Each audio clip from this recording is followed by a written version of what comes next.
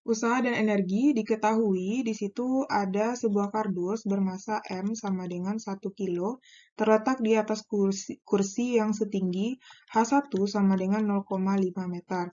Jika kardus tersebut dipindahkan ke atas meja yang tingginya 5 meter, berarti eh, H2-nya eh kok 5 meter? 1 meter maksudnya ya.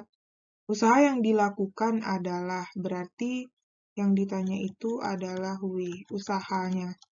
Nah, jadi dia awalnya berada pada ketinggian 0,5 meter. Berarti ini ada hubungannya usaha dengan energi potensial. W sama dengan delta EP. Di mana M kali G H2 kurang H1. ya. Nah, M-nya 1, G10, H21 dikurang 0,5. Berarti 10 dikali 0,5. Sama dengan 5 Joule. Jadi jawabannya adalah yang A.